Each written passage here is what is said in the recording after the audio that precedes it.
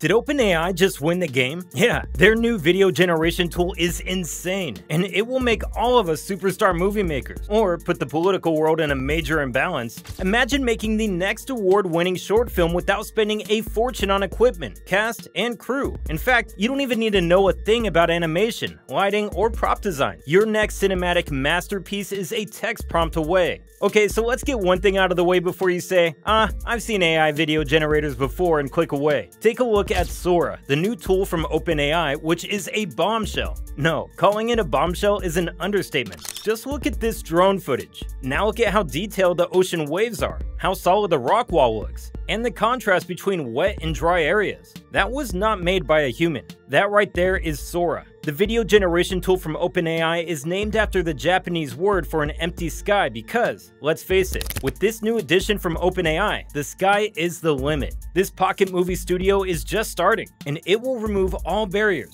and make visual storytelling possible for generations to come. All the video generation AI tools today need help maintaining visual consistency and generating believable scenes and characters. Some look like an awful acid trip because they need to get what OpenAI has. Since they started making waves in the AI sector, OpenAI has gathered vast amounts of data and information. Their WonderKid ChatGPT has served hundreds of millions of users worldwide. OpenAI has scoured every possible inch of the accessible internet, and they needed the proper access to some parts. They did anyway. But hey, it's all in the name of progress, right? To get a little technical, LLMs, or large language models like ChatGPT, use tokens to produce their output. OpenAI's other kid, DALL-E, uses a diffusion model to place randomized image pixels that turn into coherent images. Sora uses visual patches and a combination of ChatGPT and DALL-E tech to create a three-dimensional output combined with a highly intelligent physics engine, produces something like this. Look at this fluffy cat. Look how all the whiskers and fur follow real-life physics while maintaining the visual style. Look how alive its eyes are, and how it's interacting with the world around it. If I showed you this without telling you about Sora,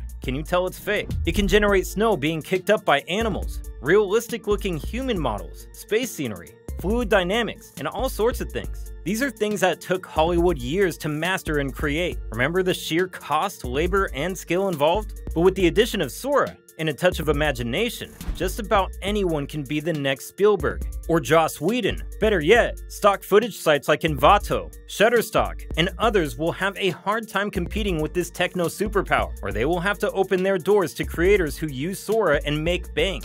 But all that being said, this tool is still in its infancy. There are glitches. Some users have found that it generates extra objects that are not in the text prompt. It will also make errors when it comes to displaying the physics of complex scenes. What critics praise about Sora is its ability to create realistic looking videos that are indistinguishable from the untrained eye, which is very concerning because in the wrong hands, this can be a weapon. We live in times where the wrong information at the wrong time on the wrong group can start a wildfire. For example, this year, a crucial year for electronics. Dozens of countries will have important power shift events that will tip the scales for the next decade or more. Adding a hyper-realistic video generation tool can be a real threat to these delicate situations. As we talk about these new leaps and bounds in tech, we face two major wars between powerful countries. The last thing we need is misinformation that can hinder peace attempts and hide or exaggerate the state of these wars. Professor Hany Farid at Berkeley said, this technology, if combined with AI-powered voice cloning, could open up an entirely new front when it comes to creating deep fakes of people saying and doing things they never did.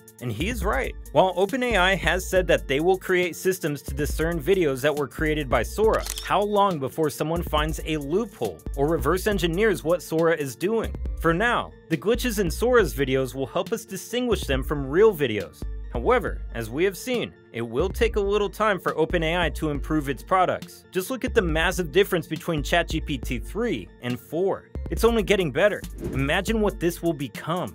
While this is still a massive show of force by Sam Altman and his team of wizards, OpenAI is highly keen on making this a public tool. They have vowed that there will be measures to prevent people from mimicking celebrities and politicians. But people are very creative, and they've always trumped systems to get what they want. And that's what this could be a tool for creatives without all the money in the world, not a weapon to control the masses. It should be for the budding director or scriptwriter to bring their vision to reality and share stories with the world. What do you think? Will this upset the balance of the world stage, or will it be a wonder tool for everyone with a profound imagination? Let us know your thoughts. Like this video if you learned something, and subscribe for more AI news. See you in the next one.